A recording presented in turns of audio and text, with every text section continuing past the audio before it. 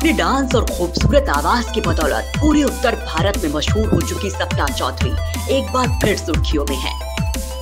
सपना इस बार अपने किसी डांस या शो को लेकर नहीं, बल्कि कुछ तस्वीरों को लेकर चर्चाओं में है। दरअसल सोशल मीडिया पर कुछ ऐसी तस्वीरें वायरल हो रही हैं, जिनमें कहा जा रहा है कि सपना चौधरी एक होटल में है और वहाँ पुलिस की रेड पड़ी है। सोशल मीडिया पर ऐसी चार से पाँच तस्वीरें वायरल हो रही हैं, जिनमें से एक फ़ोटो में मशहूर डांसर सपना चौधरी एक होटल के कमरे में बैठी हुई हैं और उनके सामने पुलिस खड़ी है। कुछ तस्वीरों में पुलिस उनके साथ चल रही है। इन तस्वीरों को लेकर कहा जा रहा है कि सप्ताह एक होटल में रुकी हुई थी, जहाँ पुलिस की रेड पड़ गई। जब इस बारे में जाँच की गई तो इन तस्वीरों की असलियत सबके सामने आई। ये फ़ोटो पुलिस की रेड या ऐसी किसी भी घटना की नहीं है।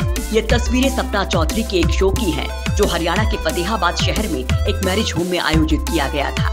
इस शो के लिए फतेहाबाद के एसएचओ सोमवीर ढाका ने सपना की सुरक्षा की ज़िम्मेदारी संभाली हुई थी। शो खत्म होने के बाद सपना मैरिज होम के कमरे में आकर बैठ गई थी और इस दौरान एसएचओ सोमवीर सपना को सुरक्षित उनकी गाड़ी तक पहुँचाने के लिए आए।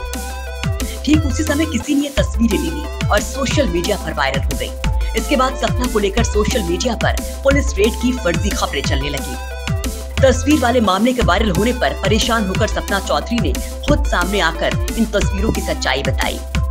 सपना ने फेसबुक लाइव के ज़रिए अपने प्रशंसकों को बताया कि आखिर ये तस्वीरें किस इवेंट और किन परिस्थितियों की हैं।